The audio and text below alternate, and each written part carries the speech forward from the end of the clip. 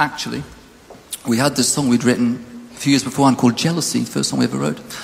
And we announced to our manager we wanted the famous Italian film composer Ennio Morricone to do the orchestral arrangement for it. It was going to be our first venture with an orchestra.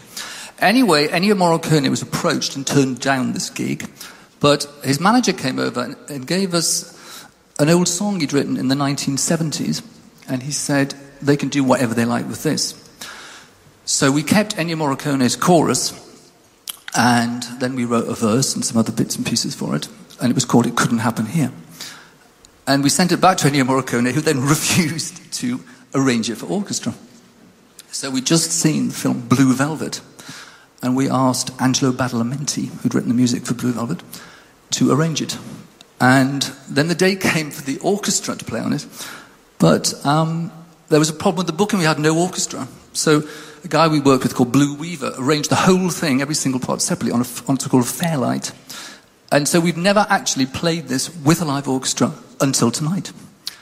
And of course, it became the title song from our film, um, It Couldn't Happen Here, or as the American trade paper Variety headlined its review, It Shouldn't Happen Anywhere.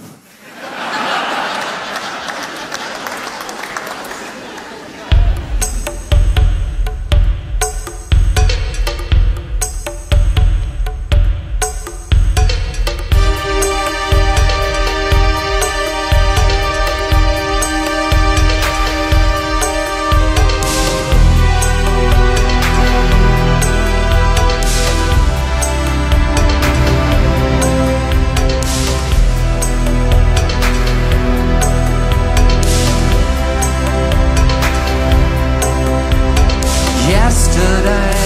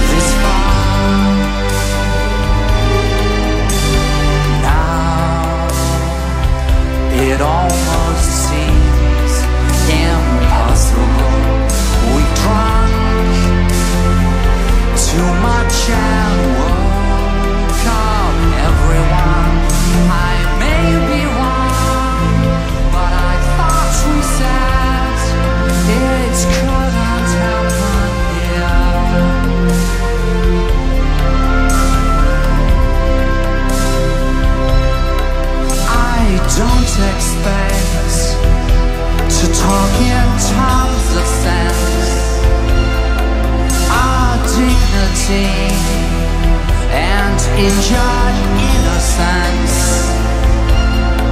It